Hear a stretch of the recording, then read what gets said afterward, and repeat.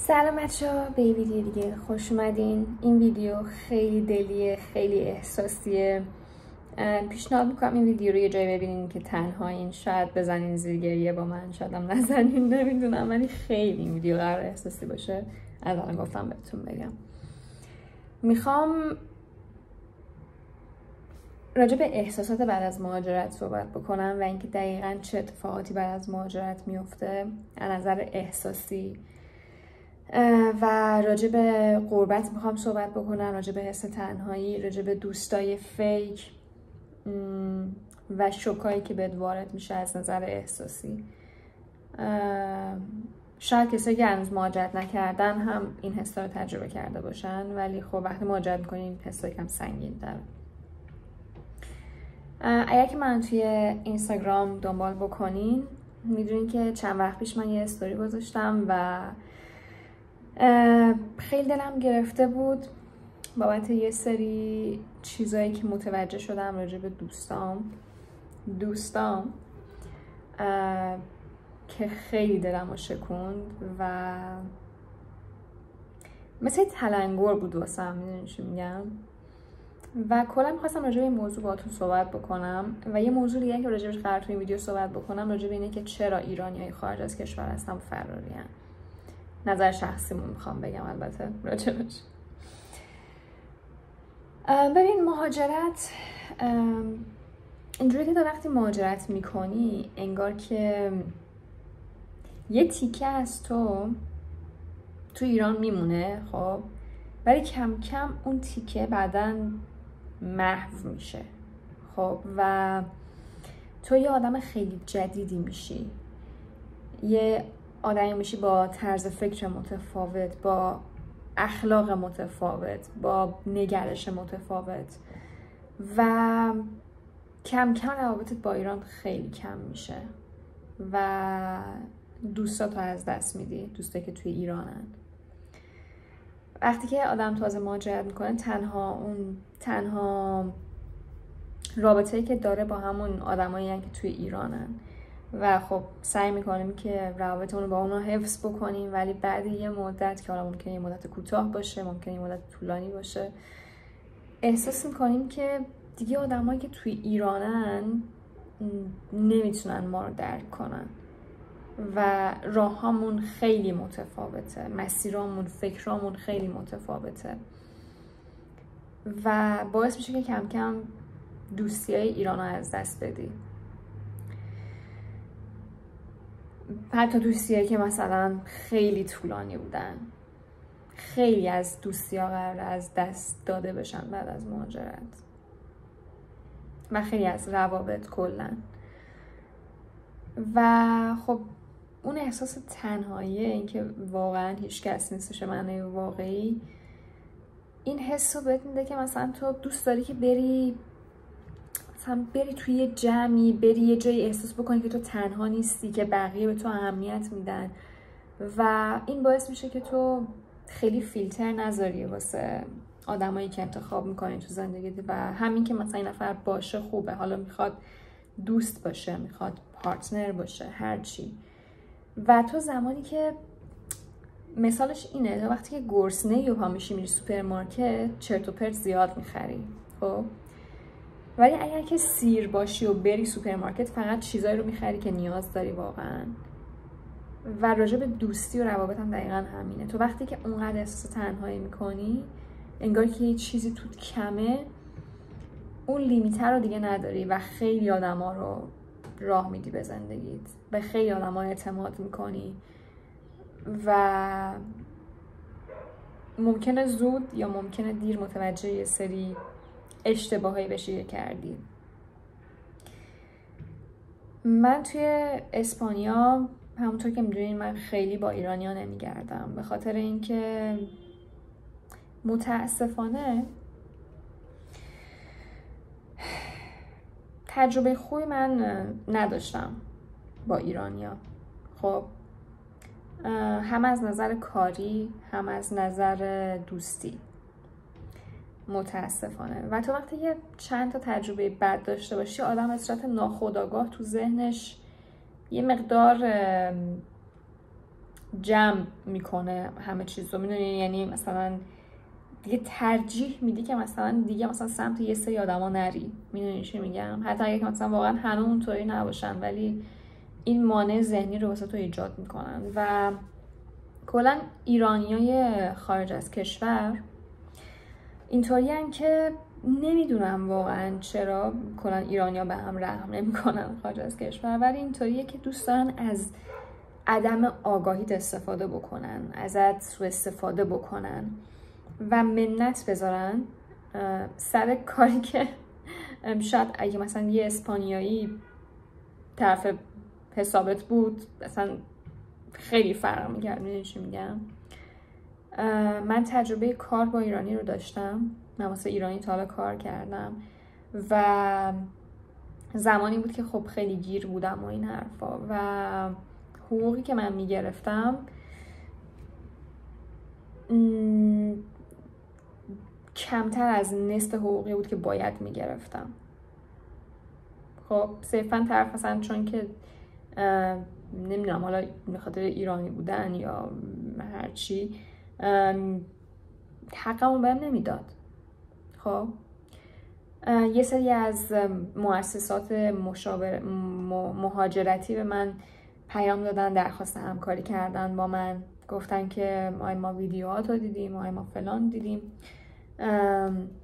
یه زمان channel تلگرام داشتم که یه سری مؤسسات مهاجرتی اومدن channel تلگرام منو ازش تقلید کردن اطلاعات منو بدون هیچ تغییری برمی داشتن میذاشتن تو channel خودشون. و به من پیشنهاد کاری می‌دادن. با حقوقی که اگر باز واسه یه اسپانیایی کار می‌کردی چهار برابر بود. یک چهارم اون پول رو می‌خواستم به من بدن. در ازای همون کاری که اگه من واسه یه اسپانیایی انجام بدم چهار برابرش رو بهم میدن. و اینجوریه که مثلا میگن آره خب طرف ایرانیه دیگه. مثلا تو ایران به ریال در می آورده حالا به یورو مثلا بهش بگی انقدر به ریال تبدیل بکنه. اوه خدا تومن میشه. می‌دونی سیستم اینجوریه. و راجع به دوست. اتفاقی که افتاد چند روز پیش واقعا دوستم راجع بهش صحبت بکنم. یعنی کاش آدم ها می‌تونستن بی پرده راجع به یه سری مسائل صحبت بکنن با طرف مستقیم. خب ولی از اونجایی که من هنوز صدقه به اون درجه نرسیدم که راحت بتونم به طرف مقابلم برینم نتونستم حرفمو بزنم. چند روز پیش من کلیدم رو توی خونه جا گذاشتم. اومدم بیرون از خونه گوشیم فقط همراهم بود. با 15 یورو پول می‌خواستم برم مرکادونا خرید کنم. گوشیمو تو خونه جا گذاشتم میگم گوشیمو کلیدم تو خونه جا گذاشتم و هم خونه یا من بالنسیا نبودم من موندم و حوزم که مثلا خب من چه غلطی بکنم نه پولی همراهمه به اون صورت نه هیچی. شروع کردم یه ویدیو تو یوتیوب دیدن که مثلا شاید بشه مثلا یه جوری در رو وا کنم و اینا. حتی امتحانم کردم حقیقتا ولی نتونستم چون درمون یکم قلق داشت. نمی‌شد با اون روشه که تو یوتیوب می‌گفت در رو باز کرد. به 6 تا از دوستان پیام دادم. دو تاشون ایرانی بودن چهار تاشون غیر ایرانی بودن. دو تاشون پیام به دستشون نرسید. اونا هیچ. سه تاشون. نه دو تاشون پیامم به دستشون نرسید. اونا هیچ. به همخونم پیام داده بودم. از بین اون شیش نفر یکیشون همخونم بود. که خب اونم نمی‌تونست کاری باسم بکنه چون والنسیا نبود. نه خب سعی کرد زنگ بزنه به صابخونه که صابخونه کمک بکنه. صابخونه جواب نمی‌داد. میمونه یه دوست اسپانیایی و دو دوست ایرانی. اولین نفری که من بهش پیام دادم دوستای ایرانی بودن. چون که هموطنه دوست صمیمیه. و یکی از اون ایرانی ها رو من چندین سال بود که میشناختم. مثلا قبل از اینکه من بیام اسپانیا با اون صحبت کرده بودم. و فکر می‌کردم که مثلا مشکل بر بخورم اون هست. می‌دونی چی میگم؟ دیدی مثلا من با خودش میگه واسه طرف خیلی با معرفت من جای گیر کنم مثلا هم هیچ کی کمکم نکنه فلانی هست. این اون آدم بود واسه من. که می‌گفتم اگه من یه جا گیر بکنم میشه مثلا رو اون حساب کرد. خب؟ هم این هم یکی دیگه از دوستان که اون پسره بود. دوستان بودن. پیام دادم بهشون که آره من تو خیابون موندم گیر کردم هیچی هم امرام نیست. دختره چی گفت؟ گفتش که بابا تنها راه اینه که کلید ساز بیاری هیچ راه دیگه نیستش. من اینجوری بودم که خب حالا کی بود؟ شنبه. آخر هفته. کلیسازم اینجا اول که هم هر کلیساز نمیاد در وسط واکنه اینجوری همه در همو می‌تونن واکنن خب؟ هر کسی قبول نمی‌کنه این کارو و اینکه هزینهش خیلی بالاه. که اگر که قفل در رو بشکنن باید دوبل باز دوباره پول بدی که قفل جایی وسط بذارن. این در کار مثلا به اجاره که میدی باید مثلا خرج بکنی که در رو بتونن واکنن وسط. و من فقط یه شب مشکل داشتم. فقط یه شب. یعنی روز بعدش هم خونه یام می اومدن این دوستم اینجوری گفت. گفتش که آره تنها راه تامین یه کلید ساز بیاری گفتم باش حالا مثلا عقل خودم اصلا نرسیده بود یعنی گفتم باش حالا دست درد نکنه. این تمام شد. اون یکی دیگه از دوستان اونم ایرانی گفتش که والا نمی‌دونم من کسی رو نمی‌شناسم بهت کمک بکنه. کلیساز نمی‌شناسم تنها راهتم همینه. مونده بودم همینطوری. و گفتم باشه دست درد نکنه. گفت حالا تعارف نکنه اگه کمک دست هم برمیاد. یعنی شما وقتی اینجوری میگی که دیگه نه دیگه چه کمکی دست شما در نکن. راهنمایی لازمو کردی که کلید ساز لازمه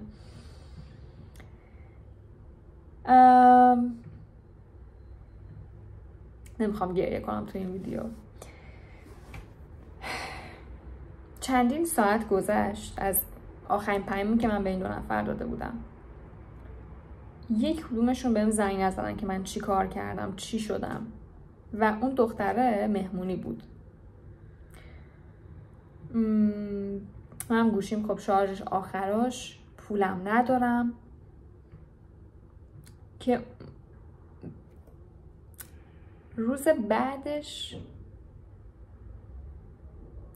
وقتی که گوشیمو دیگه دیگه جام اوکی بود و پیاممو باز کردم دیدم که اون دوستم ساعت چهار صبح پیام داده بهم که چی شد رو مینا نگرانت شدم چیکار کردی؟ و من اینجوری بودم که نگران شدی و خب چرا زنگ نزدی؟ و طرف بلاکم کرد. همون آدمی که من فکر می‌کردم یه جای گیر کنم اون هست.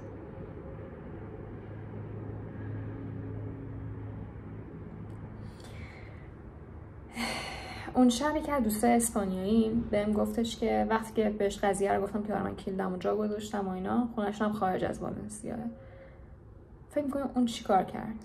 گفتش که یعنی کلا نمی‌تونی برگردی خونه نمی‌تونی وارد خونه بشی. خب می‌خوای به خونه ای ما با هم فیلم ببینیم اوکی یا؟ و بهش گفتم که نه مثلا تو فاز فیستا اینا نیستی باشیم حالا امشب بریم فیستا تا صبح که حالا و فقط شب سر کنم. یعنی روز واسه مهم نیست کجا باشم ولی نمی‌خوام شب بیرون باشم. گفتش نه من فیستا که نمی‌خوام امشب برم بعد صبح زود پاشم ولی بیا خونم و من با خانوادم صحبت کردم فلان و این حرفا. و قبل از اینکه این دوستم پیام بده به هم دیدم دیگه هیچ راهی نیست عملا و نمی‌تونم برم پیش کسی بمونم. به همخونم پیام دادم اون که خارج والنسیا بود که هر جا که هست هر چقدر دور هست واسم لوکیشنشو بفرسته من برم کلیدو ازش بگیرم و برگردم. که ببین دور بودا دور یعنی سفر کردم.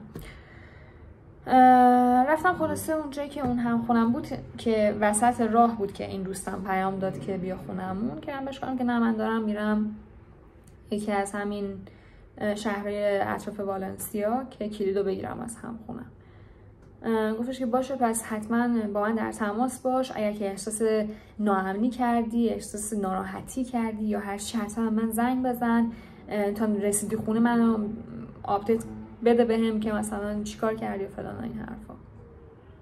و ببین این دوستم همونی که عکسش رو من توی اینستاگرام گذاشتم تو آخرین پست. یه لحظه تو دلم خالی شد. یعنی تنها کسی بود که اینو به من گفت. تنها کسی بود که گفت بیا خونه من تو خونه نمونی توی تو خیابون نمونی. و من کلی ازش تشکر کردم. گفتم که خیلی این کار معنی داره واسه من خیلی با ارزشه. و گفتش که تو هر موقع که گیر کردی تو خونه من جا داری. اصلا فکر نکن که مثلا تنهایی اینجا. و این آدم می‌دونی من چند وقته می‌شناسم. یعنی یه سال نشده من این آدم می‌شناسم. بعد ایرانیا چیکار کردن؟ یکیشون که بلاکم کرد. اون هم که کلا دیگه اصلا خبر نگرفت ازم ببینه چی شد چیکار کردم. تو خیابون موندم اون شب. زدم تو سرم چیکار کردم؟ شبش که رسیدم خونه خیلی دیر رسیدم چون میگم رفتم کلا یه شهر دیگه. خیلی دیر رسیدم خونه. و وقتی که تو تخت دراز کشیدم یک غم خاصی تون بود. یه لحظه انقدر حس تنهایی کردم. و این حسی که رومینا دوباره خودت از پس خودت بر اومد. یعنی به من کلا خیلی کم از بقیه کمک می‌گیرم. خب یعنی خیلی باید مشکل شدید باشه و من خودم هیچ نتونم بکنم که مثلا رو بزنم به یکی از دوستان خب وگرنه من اصلا آدم رو زدن به کسی نیستم. و وقتی که تو این شرایط من بازم مجبور بودم خودم گیریم خودم رو عذاب بکشم بیرون همچون به سقف زور زده بودم گفتم خیلی قوی دختر. و همینجور اشکام داشت میریخت. انقدر حس بدی داشتم انقدر غمگین بودم از اتفاقی که افتاد. و من اون شب نمی‌دونستم که اون دوستم کلا بلاکم کرده.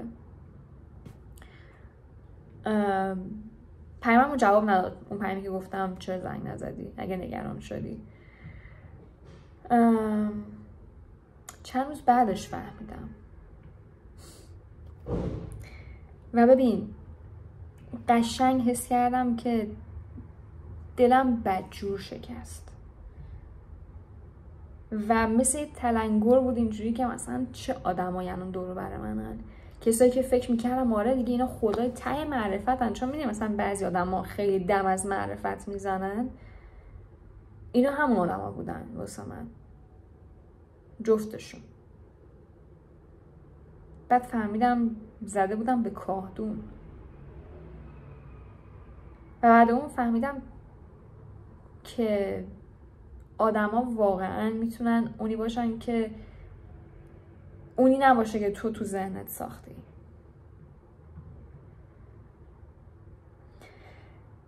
و خب من دیگه ارتباطی با اونا ندارم حقیقتا. یعنی آدم نیازی به این دوستا نداره تو زندگیش ولی خیلی واسم سنگین بود این موضوع.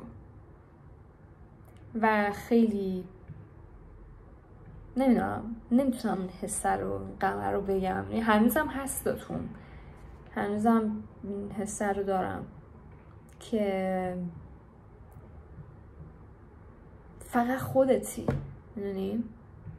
هموطن رو نمی‌دونم. اصلا بعضی من پیام میدن میگن آره من هموطنتم فلان. دیگه اصلا خندم می‌گیره که میگه هموطن. هموطن هموطن های اینجا که ما دیدیم والا اینجوری بودن کسی که پست من خوردن. تا می‌خوان دوست دارن ازت پول بکنن دوست دارن سرت کلاه بذارن کسایی که واقعا دلشون پاک باشه واقعا بخوان کمکت بکنن تعدادشون خیلی کمه.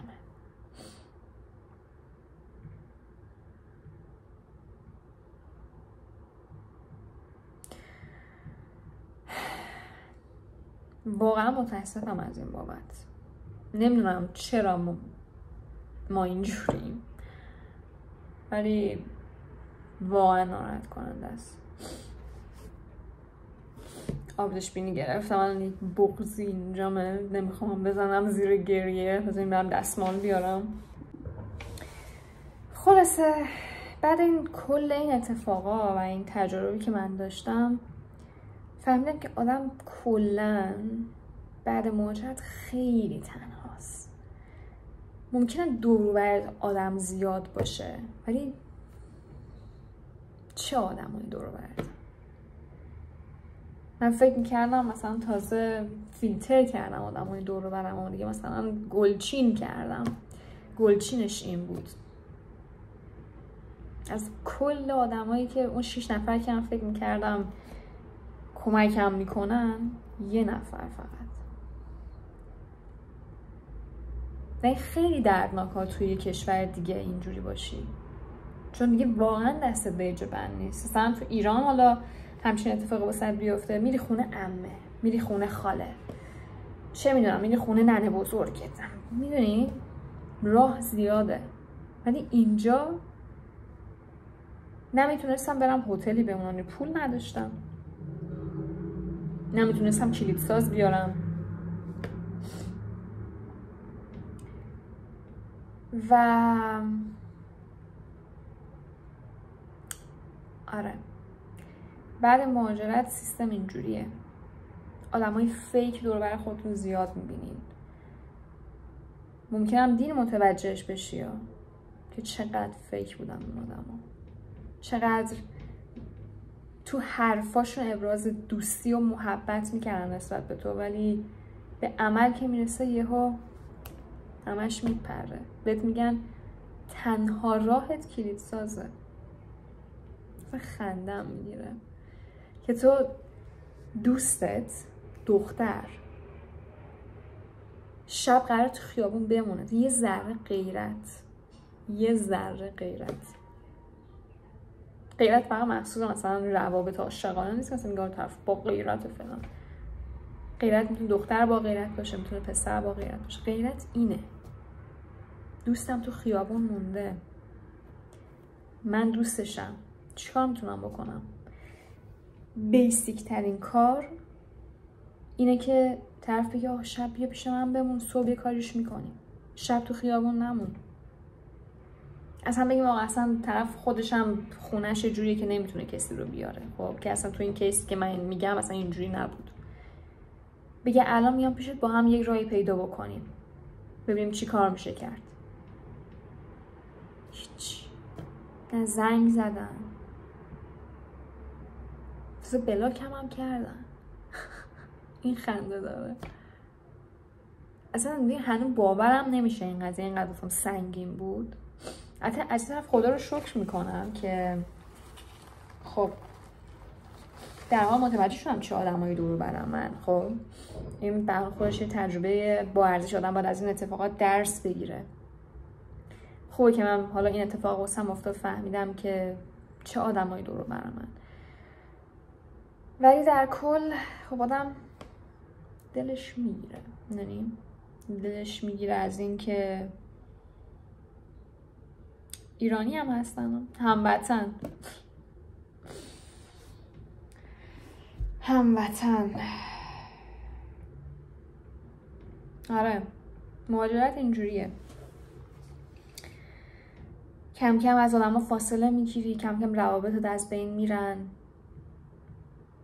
آدما دل تو میشکونن پشت سر هم. و تو یهو میگه اوپس. از همیشه تنها آره. مهاجرت این چیزا رو به خودش میاره.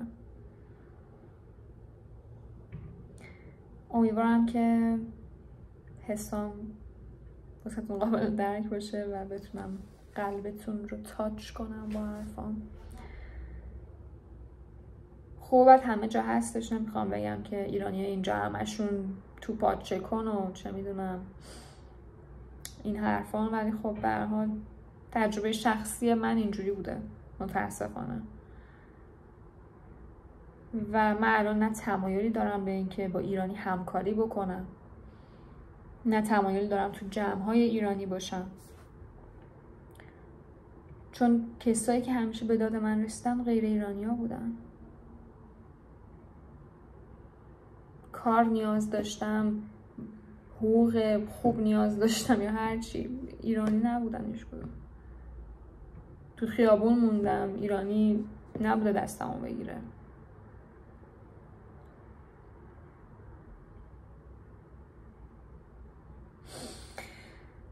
آره خلاصه. گفتم یکم دلی باهاتون حرف بزنم. حتی نظرتون توی کامنت هم بنویسین و شما اگه خارج از ایران زندگی می‌کنین تجربهاتون رو بهم بگین. و امیدوارم که شما دوستای خیلی خوبی دور براتون داشته باشین و دوستاتون امتحان کنین. توی امتحان کردناتون چیزایی رو متوجه میشین که انتظارش رو اصلا نداشتین. تازه من امتحان نمی کردم تو این صحنه یعنی واقعیت داشت اتفاقی که داشت میافتاد می‌دونی؟ یعنی اصلا فکر نبود بگم آره بذار دوستا امتحان کنم نه واقعا اون مشکل واسه هم به وجود اومد و حالا شبیه امتحان کردن دوستی ها هم بود. ولی شما خب می‌تونین قبل از اینکه واقعا یه شرایط سختی واسهتون پیش بیاد دوستاتون امتحان کنین. ببینین کیا پشتتونن واقعا. کیا هواتون رو دارن. بقیه رو کنسل کنین. علکی وقتتون سر اون آدم هدر ندین؟ نذارین منیپولیتتون بکنن. بعضی خیلی خوب می‌تونن منیپولیت بکنن سر اینجور مسائل. قانت بکنن که نه اون دوستای خیلی خوبی کنسل کن. خیلی از آدما باید کنسل بشن تو زندگی های ما وقتی که می‌فهمی واقعیتشون چیه و واقعا تو مغز دلشون چی میگذره می‌فهمی که شاید واقعا یکی دو نفر باشن تو زندگیت به جز خانواده که واقعا بشه اسم دوست دروشون گذاشت. بقیهشون کسایی که فقط ما می‌شناسیم. ولی دوست نیستن. تا ویدیوی بعدی. بوس بهتون. خدافز